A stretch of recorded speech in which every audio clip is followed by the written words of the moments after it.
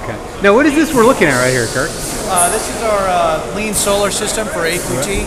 And essentially what this is, it's a uh, glass in uh, solar cell product out. Can do up to uh, 800 to 1,000 units per hour. Uh, we inherited from the uh, disk drive industry. So 800 cells per hour, or That'll be the full potential of the system. Uh, this system, we leveraged uh, technology that we had worked with in hard disk drives. So what we did is we took the technology from hard disk drives and we said, hey, let's make solar cells instead. So right now, today, I'm running about 300. Uh, normal production, I'm going to be at 500, but our goal is to uh, mimic exactly what we did in HDD, and that's to ramp it up so we could eventually do 800 and 1,000 units per hour.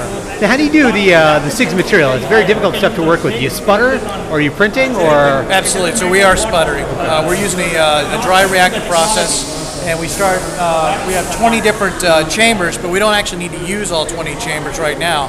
But the uh, we start with a sputtering with atomic deposition, and then you go to the next station. Uh, I don't know if you can hear it, but there's kind of a rhythm.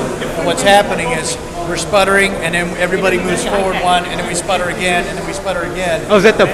Yeah, that's the that's the slot valves opening, and then everybody moves forward. The slot valves close, and then we sputter. So that's a conveyor belt. Okay. Right, it's a conveyor belt for solar cells, essentially. Now, a lot of people though have had uh, a lot of your competitors have had developed their own equipment. Are you using this like off the shelf stuff? Well, not off the shelf, but Well, that was, it's uh, used in the hard drive industry. Correct, and that was actually one. That was the approach that we wanted. We didn't think that Silicon Valley needed another specialized sputter piece of equipment, and you know, we looked around and we said, well, what can we leverage that would that is a proven factory type of system. Uh, the Intevac tool is actually a, a beautiful tool to work with because there's over 150 of these tools installed in the field. Uh, Seagate uses them, Hitachi uses them, Fuji uses them. So these are factory proven systems. So we didn't have to go through the pain of engineering something, seeing if it works, and then taking that from an R&D perspective and putting it in production. We immediately were able to just drop the system in, modify it to run our process, and then put in our glass solar cells. How much does that reduce your production or factory cost?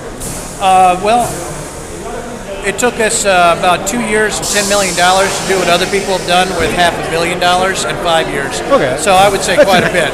A nice discount. All right. Yeah, and uh, and then on top of that, when you look at the uh, the speed, uh, I walked into here. There was nothing in this room, and it took me eight weeks to uh, fully install the system, port over our process, and begin production.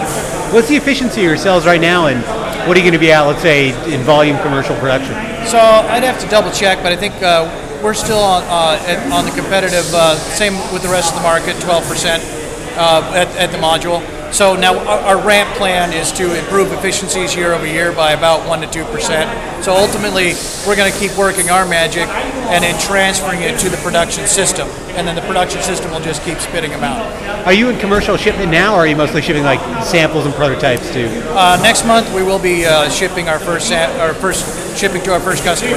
At 12% at the module level, that's pretty good actually. Most uh, It's not bad. I mean, it's it's on par with everyone else. can you do flexible, or well, you're doing glass right now, but you can do We- flexible, or We don't have any plans to uh, do flexible right now, but maybe we'll look into that in the future. But currently, uh, the system is designed for 1.6 millimeter thick glass substrates.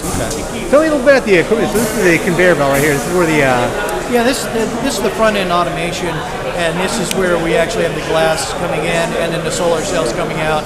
Uh, from this side, you're on the, the the the end of the line, so this would be where you'd see the solar cells coming out.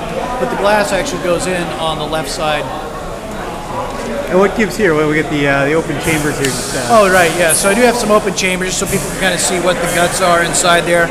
Um, ultimately, kind of step over this direction. See we put two windows on these. Uh, the, that's what the inside of the uh, vacuum chamber looks like. There's nothing exciting, there's nothing in there, but later today you'll see solar cells going by those windows. yeah, just pieces of glass basically moving by, and they move. They're actually horizontal or vertical, right? Yeah, we do a perpendicular process. Flip it off, sputter it on, take it out. Correct. That's a good idea. Yeah, it's funny. A few years ago, no one would have thought hard drives actually would have been the basis of like the solar industry. But it makes Well, we have actually over 50 years of domain experience. Our uh, our uh, our main process guru, uh, she spent uh, 11 years at Seagate and launched a new product every six months for 10 years. And she de- she was the one who developed all the process at Seagate. So we're just literally, and she did it on this tool. So all of us have, you know, a lot of experience on this system. We have the production experience, we have the process experience, and And uh, the HDD, you're looking at 15 layer devices. Here we only have a six layer integrated device. So Oh, that's a lot our easier. process is much easier. Yeah. So for us to uh, accomplish what we needed to accomplish wasn't really a far stretch. Can you, uh, I guess that's about it. I can't think of anything else. Thanks very much. Not a problem. So